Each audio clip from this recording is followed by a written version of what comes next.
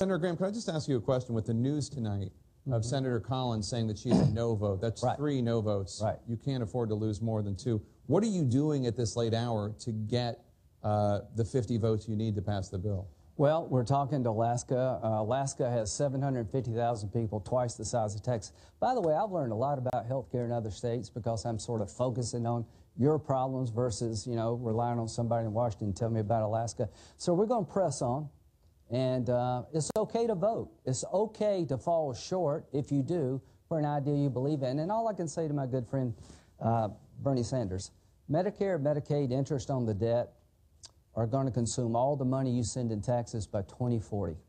If we don't turn this around now, we're going to leave a country that's completely and utterly bankrupt. Can you control the cost of Medicaid and still be humane? I think you can, and you better, because Medicare and Medicaid are on the path to just collapse. And I'm proud of the fact that we saved a trillion dollars, and you know how we did it? We took the Medicaid growth rates and brought them down to medical inflation. We didn't cut year to year.